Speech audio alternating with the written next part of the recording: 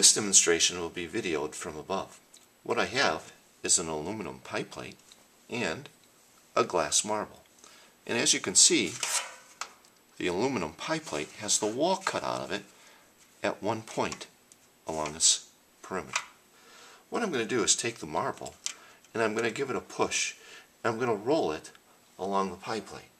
The wall of the pie plate will begin to push inwards up on the marble as it goes around in a circle.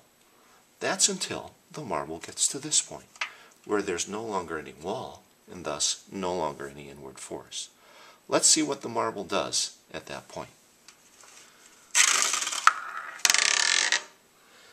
As expected, the marble rolls off tangent to the circle, because once there's no longer an inward net force, but a balance of forces, objects in motion continue in motion the same speed and in the same direction.